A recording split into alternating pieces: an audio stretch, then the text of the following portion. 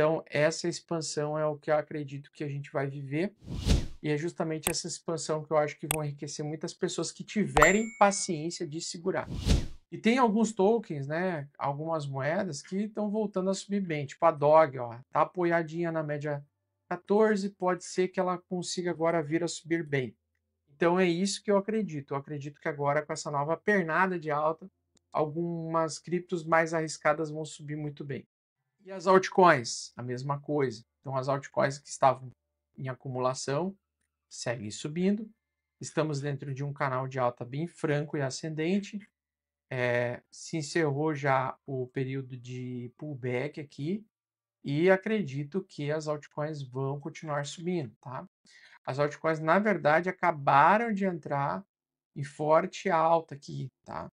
Então, por enquanto, não vejo nenhum motivo de correção, nenhum motivo para o mercado corrigir forte, tá? É, na verdade, estamos a recém no início de uma forte tendência de alta semanal das altcoins também, tá? Então, as altcoins no semanal, na minha opinião, vão querer vir para cá, para essa linha amarela aqui, linha que eu juntei os topos anteriores e, e a gente está repetindo o movimento de expansão de anos atrás. Então, de 2017, de 2020 e 2021 e agora estamos na fase da expansão de 2025, 2024/2025. Então, essa expansão é o que eu acredito que a gente vai viver. E é justamente essa expansão que eu acho que vão enriquecer muitas pessoas que tiverem paciência de segurar.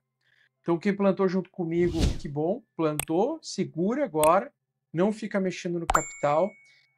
E uma das coisas, pessoal, no último, na, no último bull market, eu perguntei, né, depois de um longo período de alta aqui semanal, eu perguntei para muitos seguidores, né, para muitas pessoas que estavam acompanhando, é, perguntei assim, pessoal, quem aí está no lucro?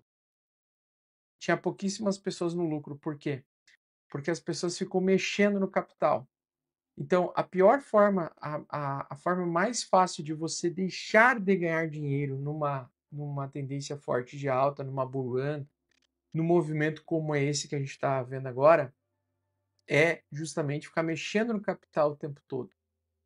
A melhor coisa é fazer o position trade. Position trade é escolher três, quatro altcoins que você acredita que vão performar bem, se, se expor a elas e segurar elas enquanto o mercado entrega alta, tá? porque qualquer correção que acontecer é correção de poucos dias, talvez muitas vezes poucas horas, para o mercado continuar subindo. E aí, se você ficou mexendo no capital e tem que ficar recomprando mais caro, você fica perdendo movimentos de alta. Então, o importante é selecionar três ou quatro altcoins, mais o Bitcoin, né? fazer uma carteira, compor uma carteira de risco eu sempre comento e sempre atualizo os membros do canal, né, para a situação do momento atual. Então, se você não se tornou membro do canal, vale se tornar membro do canal, que você pode assistir a live de hoje, tá? A, a nossa reunião semanal. A gente tem uma reunião semanal, tá? Que são dos membros premium e dos membros deuses. Então, membros deuses tem praticamente duas reuniões. Essa semana vão ter três, porque a gente, com uma alta muito forte, eu tenho que acalmar os ânimos da galera quando tem essas correções breves de quatro horas, né? Então, o que acontece? O pessoal não consegue lidar muito bem com essas correções aqui, com esses movimentos aqui, ó. Esses movimentos são acumulações para os preços continuarem subindo, tá? Então, dentro de tendência de alta, a gente tem a seguinte situação. O mercado, ele, ele sobe, lateraliza, geralmente em peanut, né? Para continuar subindo, tá? E depois desse movimento de alta, o que, que é normal acontecer? Ele entregar uma nova máxima, entregar novas altas, ele fazer um novo peanut, descer um pouquinho e trazer mais alta pela frente, assim que o mercado faz um movimento de onda, tá? Então, o movimento de onda provavelmente vai ser mais ou menos isso daqui. Ele fez o primeiro peanut, mercado entrega nova alta, ele faz outro triângulo simétrico. Esse triângulo simétrico tem um pouquinho mais de correção, corrige um pouquinho mais forte e continua subindo. É assim que o mercado gosta de andar, tá? Ele anda em ondas e ele faz as ondas mais ou menos nesse sentido aí que eu estou desenhando para vocês, tá? Então, sempre é bom, né?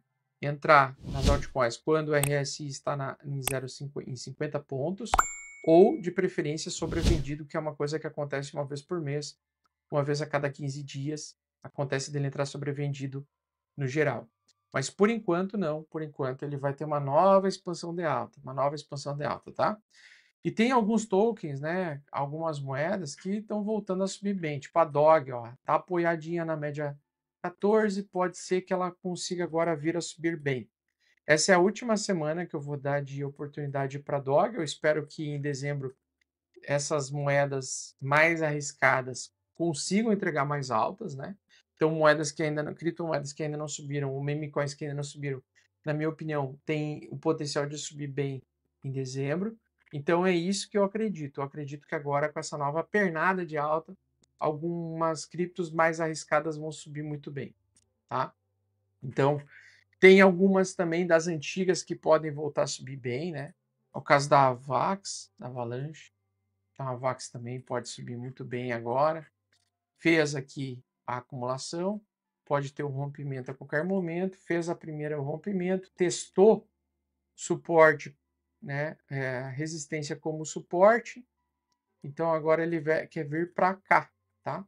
Então claramente dá para ver que ele está é, estourando, né, subindo e, e indo bem rápido para cima, tá? Gráfico, pega o gráfico de uma hora, né? Você precisa ver uma sequência, né? Precisa se manter acima de 32, continuar ganhando mercado, continuar subindo, tá?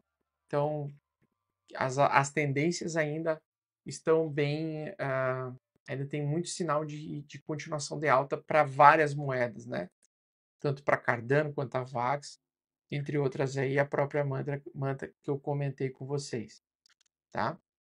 EVE também, né? Tá subindo bem, ENA indo bem também, HNT, ó, pegando alta também agora. Então agora eu acho que o mercado vai dar uma porradinha a mais de alta, tá? Então, basicamente é isso. É, eu vou ter que fechar a live, pessoal, porque eu já tô ficando com dor de cabeça de novo. Eu não posso falar por muito tempo. A princípio eu teria que ficar três dias parado, mas não consegui. Certo? Então, na minha opinião, todas elas vão continuar sua, sua jornada de alta porque elas acabaram de fazer movimentos de acumulação e correção recente para continuar subindo, tá? Evitem ficar vendendo e comprando a todo momento. Evitem ficar pulando de galho em galho também. Comprem tokens que estão com tendência de alta no semanal, né, que as barras semanais estão bem grandes. O Crypto Blinders vai ser fe oficialmente fechado, não vai mais existir o Crypto Blinders depois. Então, o link do Crypto Blinders deixei com o desconto já. Eu, eu baixei o preço, é o preço, o último preço final do ano. Ele vai estar no ar, né, para as pessoas estudar, mas ele não vai ser mais vendido, tá? Uh, sobre o Crypto, Blinders, é para aquelas pessoas que não têm pouco ou conhecimento médio sobre cripto e sobre price action, tá? E querem entender melhor como eu utilizo o meu conhecimento as minhas técnicas de swing trade, position trade, principalmente position trade, para fazer dinheiro no mercado de cripto.